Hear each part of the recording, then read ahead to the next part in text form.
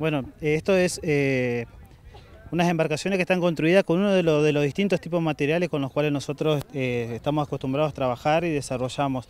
En este caso, bueno, se hicieron embarcaciones de plástico reforzados con fibra de vidrio, piraguas, que son embarcaciones para practicar el deporte náutico que es canotaje, y bueno, en este caso, con motivo de lo que es el día de la escuela técnica, decidimos hacer esta travesía para que los chicos eh, navegaran con sus propias embarcaciones, las que ellos mismos construyeron en el transcurso del año lectivo.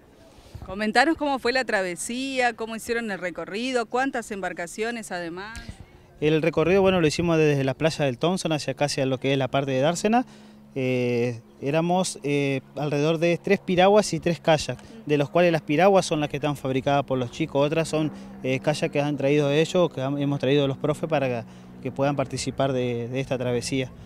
Y bueno, lo que es la parte de canotaje la estamos desarrollando debido a un proyecto que armamos en articulación con una profesora de educación física. Eh, allá teniendo la posibilidad de nosotros fabricar nuestras propias embarcaciones, bueno, las profes de educación física eh, desarrollaron este proyecto para poder eh, aprovechar las construcciones que nosotros hacemos en sus espacios. ¿Y qué tiempo lleva la construcción?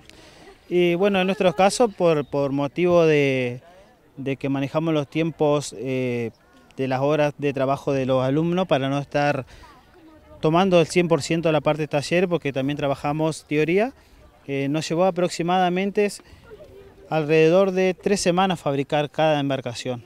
Es lo que fue preparado de matriz, eh, cómputo y presupuesto de los materiales, después desarrollo del proceso, es un proceso bastante complejo para desarrollarlo. Y así que esos son los tiempos más o menos que tardamos en fabricar.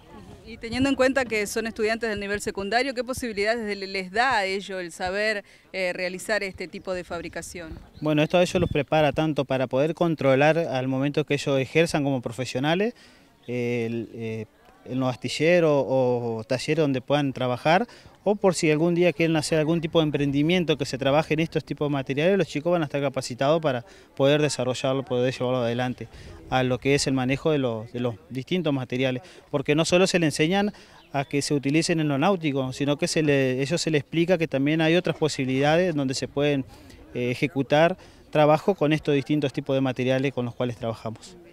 También está aquí la profesora de Educación Física porque los chicos venían remando. Eh, ese buen día. Buen día, mi nombre es Lorena.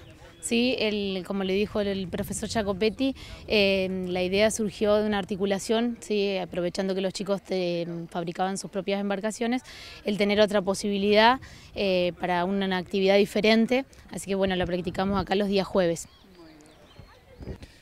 Y es algo único, una experiencia única, poder fabricar nosotros las propias embarcaciones y poder probarlas, eh, su funcionamiento es algo que la verdad está muy bueno, muy lindo.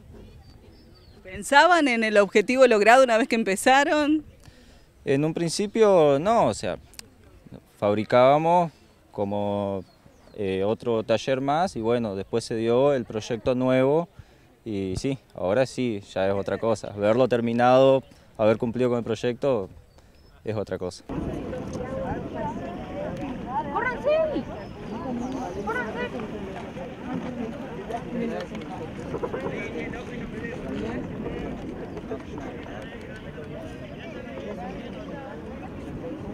¡Corran,